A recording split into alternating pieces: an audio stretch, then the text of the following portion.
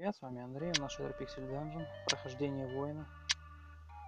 Собственно, это очищаем. Поехали. Но говорят, что вы ощущаете наличие смертельной опасности, посмотрим, насколько нам будет. Так, с первого удара начало хорошее. Тут важно не торопиться, потому что большинство боев у вас могут закончиться даже не начавшись. Вот эти три двери, они шикарные, потому что большинство врагов можно убить именно в них. Змея, надо ее разбудить. Змею убрали. Много травы, гнусномох, это у нас, собственно, яд, так называемое, в растении две штуки даже. И, собственно, скоро, скорополох это ускорение ваше. Зелье ускорения из него делается, если их собрать три. Собственно, все крысы у нас побежали. Давайте покатаем крыс.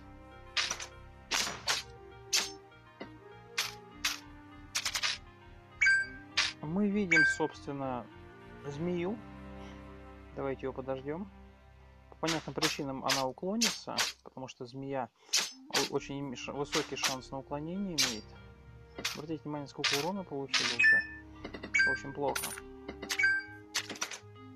Это гига-крыса, так называемый чемпион. С ним драться тот еще мазохизм. Поэтому мы не будем.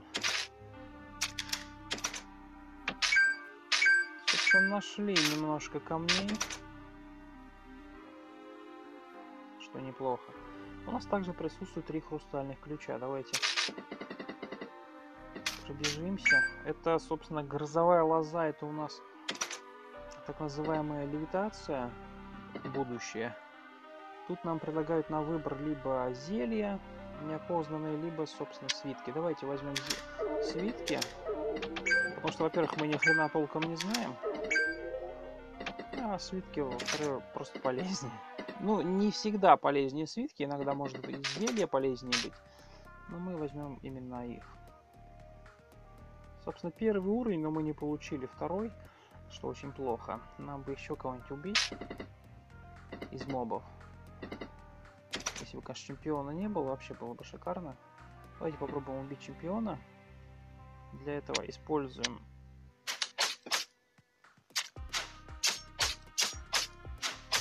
Будет очень больно бить, поэтому нам стоит готовиться к большому количеству урона. А либо урон, собственно, либо еду. Давайте возьмем еду. Переходим на второй уровень. Второй уровень, нам говорят, что нам надо внимательно смотреть под ноги. Э, внимательно смотреть под ноги, это означает то, что вам большое количество ловушек на текущем уровне будет. Поэтому вам нужно быть аккуратнее и лучше лишний раз прозванивать полы через поиск. Наш персонаж проголодался. Собственно, по ловушкам это, собственно, электричество, это овечки, ловушка, электричество опасное. Она у вас парализует овечьи, она безопасная. Бекан, свиток непонятный, телепортирующий, она вас даже может спасти в какой-то момент. Рыболовное копье, метательное оружие, которое используется для наступления. Я удивлен, что алхимик э, не закрытый, но как-никак алхимик не закрыт. А у нас очень огромное количество зелий. Нам придется их пить, скорее всего, сейчас. Поэтому давайте вместе с вами их выпьем. Но опять же, для начала нужно исследовать весь уровень. Почему? Потому что а, могут быть уровневые зелья. Э, как объяснить? Уровневые ну да, уровневые зелья, уровневые свитки, которые именно по уровню идут у вас. И поэтому очень важно, чтобы вы пили именно их, когда, ну, то есть, когда уже поймете весь полностью уровень. В идеале прожать карту для этого. Подождем крысу. Собственно, у нас есть ключ железный. Давайте откроем. Я рекомендую выбирать именно запертый сундук в самом начале, потому что зельев и книг у вас очень много. Засохшая роза не самый полезный артефакт, но он не активируется до тех пор, пока скажем так, он не будет бесполезен до тех пор, пока вы не выполните квест. Не выполните квест призрака на эту розу. Поэтому как-то так.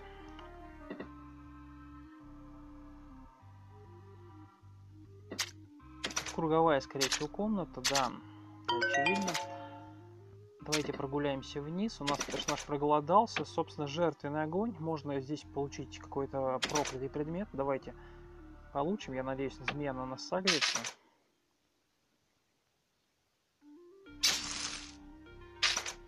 Это вдохновленный чемпион. Не факт, что мы его здесь убьем, но все-таки попытаемся. Вдохновленный чемпион чем опасен, у него очень много урона можно получить от него. А, топор упрямства проклятие такое себе, но все-таки это лучше, чем ничего, поэтому обратите внимание, единичка урона была. Прям смешно. Так, э, наш персонаж скоро проголодается. Топор упрямства, понятное дело, проклятый. Нам в идеале пропить зелье. Давайте вместе с вами их пропьем. Что я рекомендую в первую очередь... А, ну давайте посмотрим вообще в целом уровень.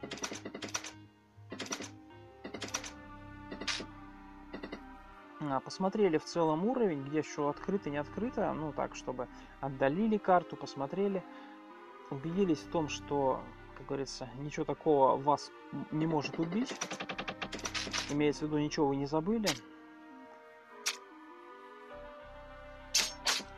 Обратите внимание, сколько урона у меня в лицо нанес. На самом деле, это знали. А, 15 хп. Давайте прокачаем провокатора. Дополнительный урон при разрушении брони разрушение щита, если быть точным. У нас присутствует, кстати говоря, свиток, э, получается, опознание. Давайте вместе с вами добежим, свиток опознания бафнем на свиток предсказания. Он, это стоит 6 монет. Давайте это сделаем. Нам опознали некоторые свитки, кольцо. Два кольца и ускорение. Ну, кольца хорошо, ускорение не особо. Ускорение, обратите внимание, у нас опозналось. А теперь, чтобы выпить зелье... Давайте перейдем, во-первых. Обратите внимание, нам не дали...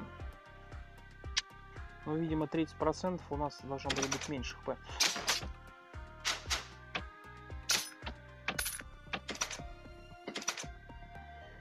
Собственно, телепортирующая ловушка. Можно было бы, конечно, телепортировать что-то, но нам нет смысла.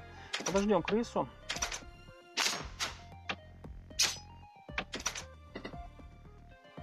А, собственно, активируем. Стой. Активируем первое зелье. Это сила. Отлично. В принципе, остальные нам не актуальны. Теперь наша задача найти свиток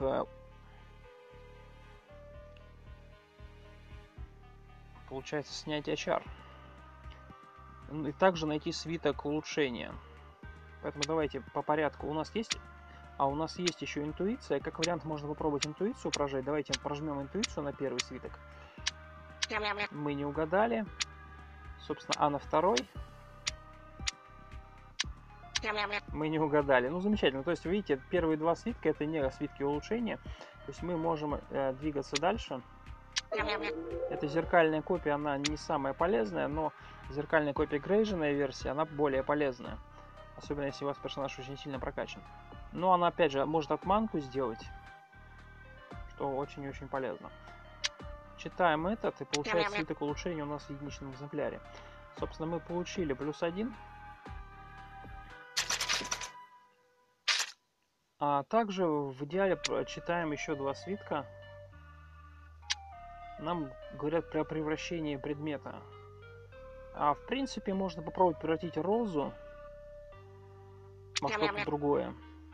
Талисман, талисман, э, ну талисман в целом неплох, роза, конечно, тоже была бы неплохой, но талисман лучше.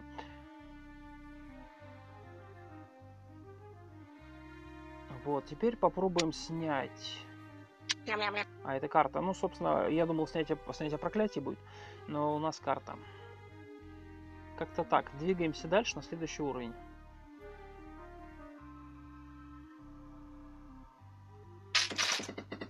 По дороге можно и мобов зацепить, если они появятся. нам подсказывает, что немало тайников на текущем уровне, соответственно, много скрытых дверей. Это у нас змея, антимагическая змея, а, антимагический чемпион. На самом деле, чтобы ее убить, ее нужно бить только физой и с неожиданной атаки. Потому что змея имеет очень высокий шанс уклониться от ударов. А из-за того, что она еще и чемпион, она наносит дополнительный урон.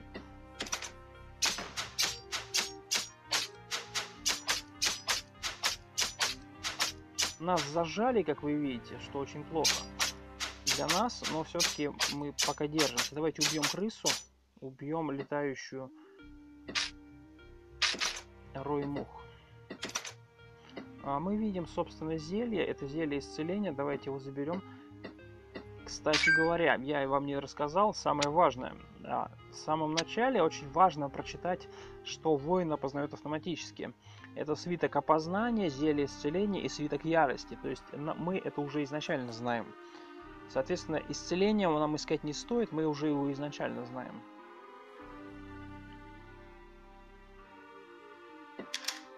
Собственно, забираем рацион пищи. Нашли звездоцвет, это одна из самых полезных семечек и из самых в то же время редких семечек, потому что звездоцвет. Также нашли огнецвет и ледяную лилию. А что касаемо огнецвета, это, я думаю, понятно, что это огонь, огонь по площади. Если вы его посадите, и кто-то из врагов наступит на него, либо вы сами его активируете, придавив любым предметом, то огонь распространится. Собственно, присутствует мимик и присутствует краб. Давайте попробуем забить краба. Отступим от него. А, собственно, крыса. Давайте крысу будем бить неожиданной атакой. Я надеюсь, она догадается, что надо за нами идти. А, собственно, присутствует мимик. А что касаемо мимика, нам бы в идеале его сагрить. Первую атаку от мимика, его неожиданной атаки не стоит получать. Поэтому мимика стоит сагрить. Давайте его бросим. Мимика сагрили. Просто ждем.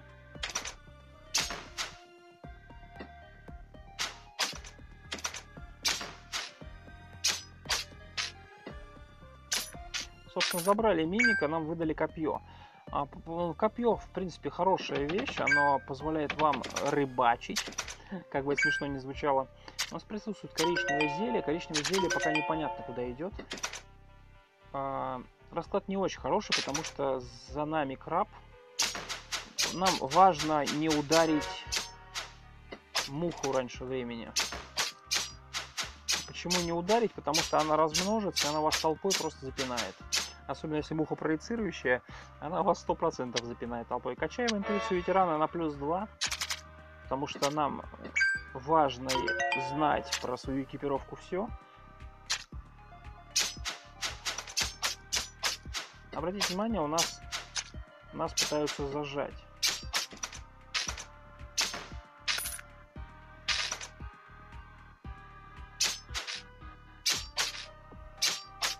А это, собственно, вдохновленный чемпион. У него очень высокий шанс уклониться от атаки, от моей. Соответственно, наша задача просто от этого чемпиона избавиться по возможности. Учитывая то, что это змея, у нее не так много хп, но очень высокое уклонение. Нужно, значит, просто ее один раз ударить. А, что касаемо текущих мобов, здесь а, присутствуют могилки. Могилки стоит открывать. Их в идеале бить магическим уроном, потому что призраки, так же как и змеи, уклоняются от урона Призрака пока пропускаем.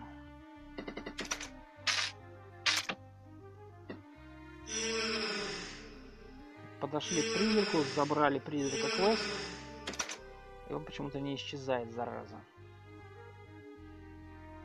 Ждем, пока Триксер к нам подползет. Мы, в принципе, весь уровень практически исследовали. У нас тут рыбалка, опять же, обратите внимание. Нам обязательно нужно порыбачить. Для этого нам нужно использовать невидимость. Но ну, для этого нам ее нужно найти для начала. Собственно, триксер.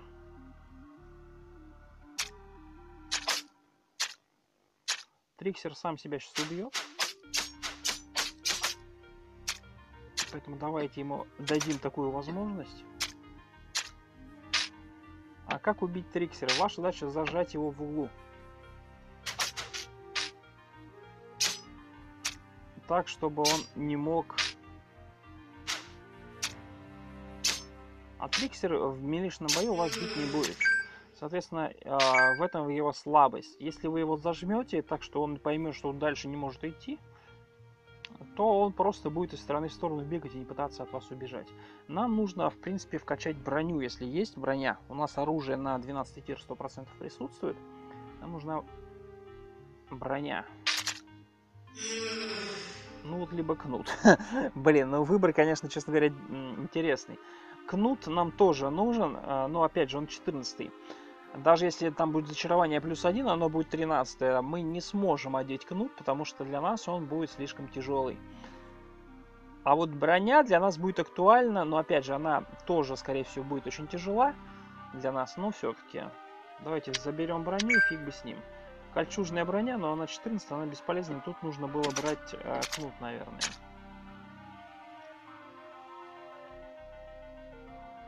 у нас должно присутствовать в инвентаре. Давайте посмотрим, открыли ли мы всю локацию или нет. Мы не все еще открыли локацию. Я просто хочу, хотел порыбачить. Давайте покатаем этого гнола.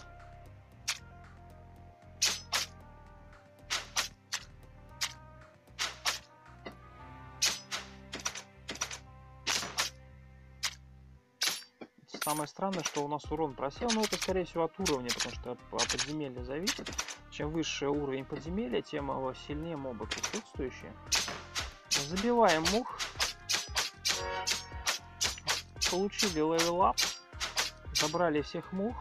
Э, прокачаем интуицию ветерана для того, чтобы использовать экипированное снаряжение. Активируем две могилы одновременно.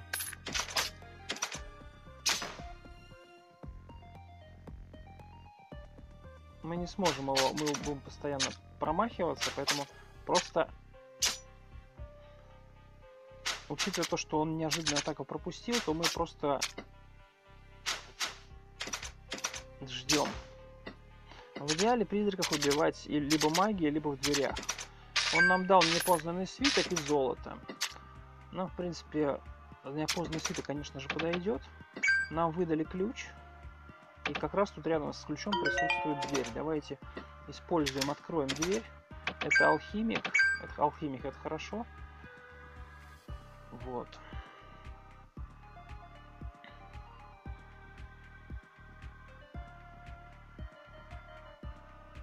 Нам бы в идеале, конечно, копье одеть, но я боюсь, что проклятая будет.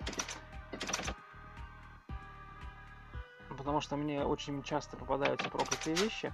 Собственно, змея, ее бить надо неожиданной атакой в дверях в основном. Это можно реализовать. Либо с помощью магии, если у вас нет возможности.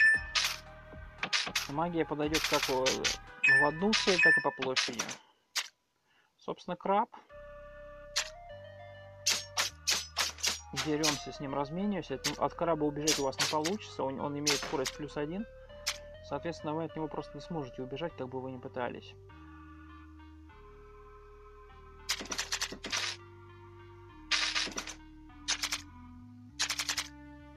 По крайней мере, на начале. А ну, возможно, в будущем, когда вы прокачаетесь немножко, у вас получится от него свалить. А, как вариант, но ну, опять же, у нас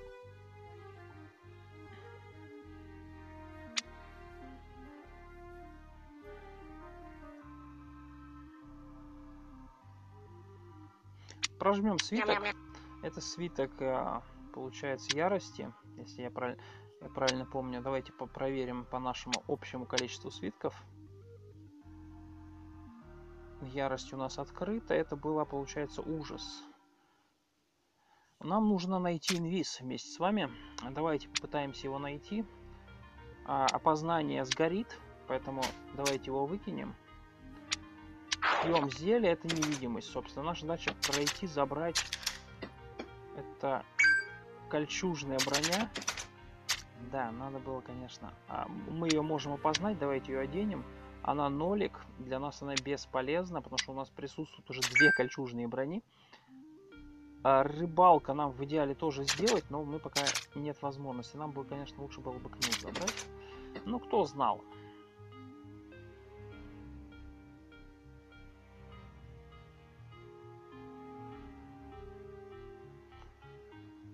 Поэтому кревес призрака стоит проходить в последнюю очередь, потому что вы должны будете определиться с тем, что вы, собственно, будете использовать. Вот. Вот две брони, они по сути бесполезны. В идеале одеть кожанку, но из-за того, что она может быть высокоуровневая мы очень сильно подставимся. Нам проще быть, скажем так, менее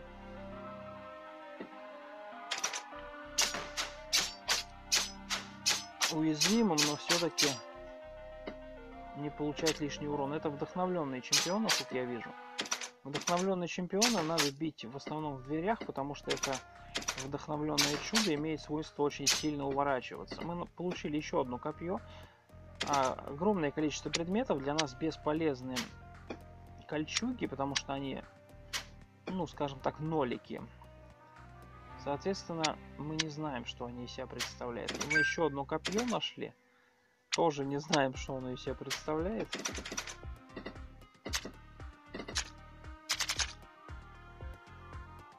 Мы видим еще одного краба, давайте к нему подойдем. Как вы видите, тут огромное количество мобов. Если мы не отступим отсюда, нам просто очень много урона в лицо прилетит. И мы, скорее всего, проиграем. Поэтому наша задача отсюда отступать. Обратите внимание, у нас количество... Нам повезло, что она промахнулась. Собственно, у нас плюс один уровень. Ну, в принципе, как вариант, можно прокачать плюс 5 единиц перекуса. На самом деле, перекус не особо важен. Э, ну, на начале он вам очень сильно может помочь. Потому что 5 хп на лейте это не особо много. Скажем так, я бы сказал, это очень-очень мало. Нашли еще один свиток улучшения, хорошо. Собственно, видим. Забрали слизь, так называемую. Мага Розе это хороший очищающий предмет. Очень полезный. Рекомендую его использовать. Обратите внимание, количество здоровья очень резко упало у нас. Из-за того, что мы до сих пор не определились с оружием, и у нас нет силы. Мы нашли последнюю силу, мы можем использовать, одевать э, доспех. Он у нас оказался не проклятый, он у нас оказался на плюс у нас, собственно, доспех на 0, мы его переквалифицируем плюс 1. А как вариант попробовать юзануть копье, либо пытаться снять проклятие. Я не думаю, что мы что-то лучше найдем, поэтому мы будем, скорее всего, сейчас на грифеле начерчивать. Это вода, если не ошибаюсь, зачарование. Давайте посмотрим вместе с вами. Это вязкость. Вязкость, кстати, хорошо для танка, для танкования урона она хорошо. Что делает вязкость? Вязкость вы не получаете весь урон сразу, а вы получаете его частями. Тем самым на начале очень сильно вам поможет именно вязкость. Давайте сагрим мимика. В идеале мимика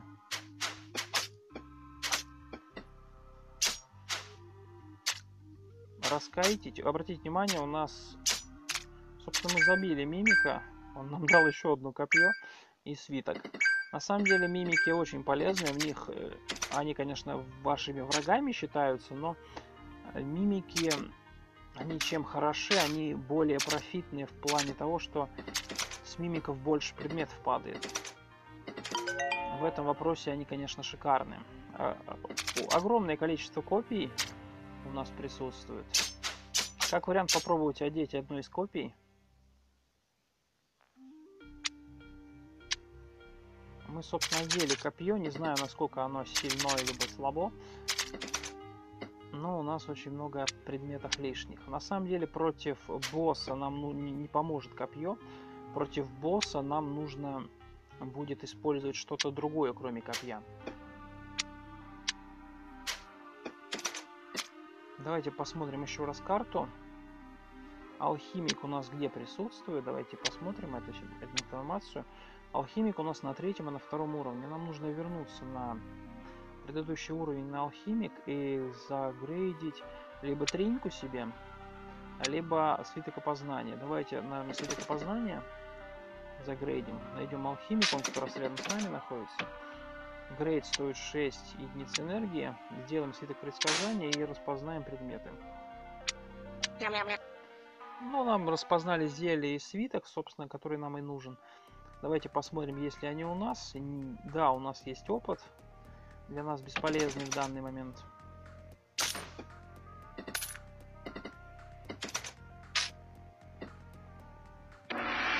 Наша задача также вот этот короткий меч на плюс 2 одеть на себя, посмотреть. Я понимаю, что он может быть проклятый, но все-таки. Меч проклятый. Давайте посмотрим, что за проклятие на нем висит. Проклятие дружелюбия. Ну, нам, мне просто везет на это проклятие, на самом деле.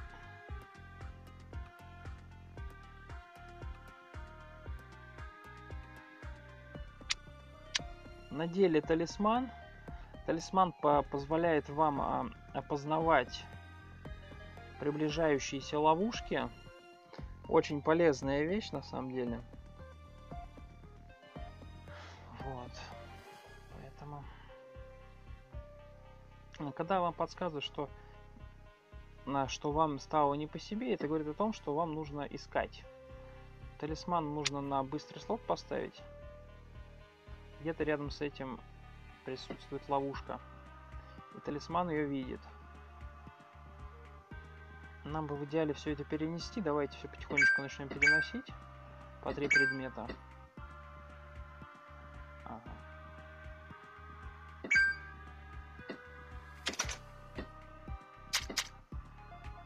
А, собственно, бежим до перехода, видим слизь. По понятным причинам мы снять меч не сможем.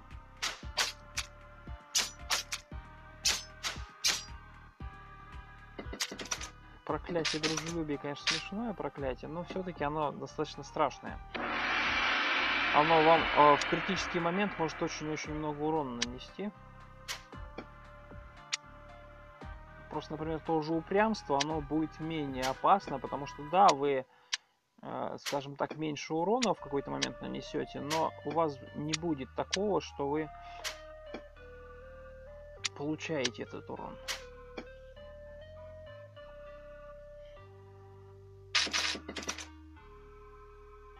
Муха. Собственно, из-за дружелюбия муха, конечно, будет жестковато. Мы знакомы с оружием, мы его опознали. Это 12 меч. Для нас он бесполезен. Потому что при возможности его нужно снимать. Давайте попробуем снять его. Это у нас не получилось его снять. Это у нас, если не ошибаюсь, было возмездие.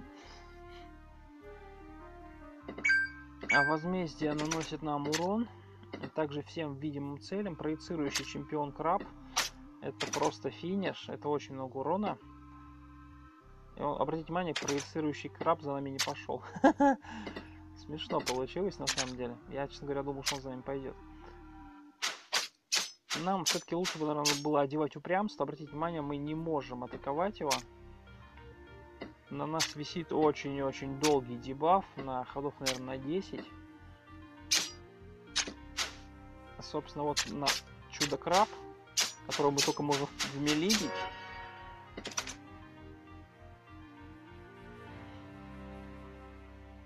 Но вязкость все-таки делает свое дело, и мы смогли его потушить. Мы забрали, в принципе, все. Единственное, мы не забрали... О, я тупанул, да?